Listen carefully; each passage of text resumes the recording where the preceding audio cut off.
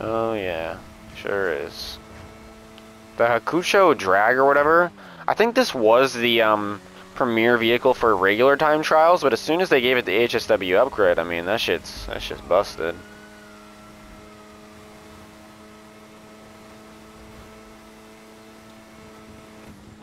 Oh fuck! Oh my god! Oh.